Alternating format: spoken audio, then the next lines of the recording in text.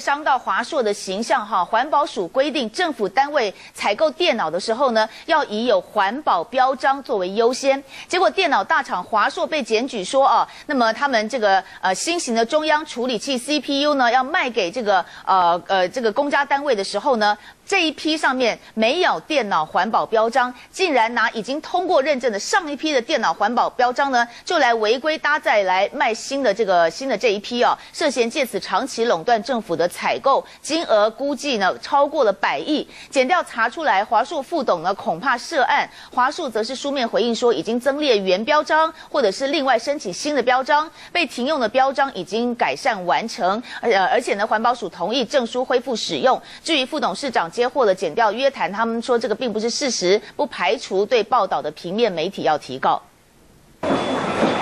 不管是平板还是手机，台湾品牌大厂华硕推陈出新，NB 转型做平板，成功行销台湾科技。不过这回却被检举拿先前已经通过认证的电脑环保标章，搭载不合规定的电脑处理器，借此长期垄断政府采购，违反政府采购法。华硕副董曾强生恐怕涉案，北检粗估涉嫌坑杀政府百亿元。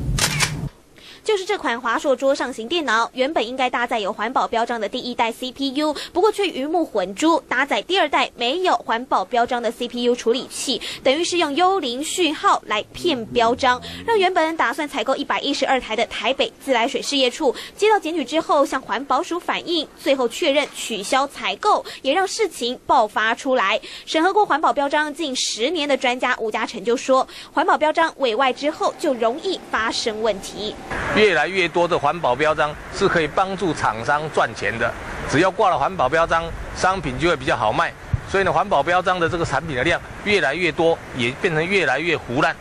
华硕涉嫌违法一爆发，股价率先反应，一开盘就重挫超过百分之三。而华硕目前仍然开会中，暂时没有对外发言。不过涉嫌坑杀政府百亿元，副董还得接受约谈。台湾华硕品牌之光蒙上阴影。专新闻陈俊陈山台北采访报道。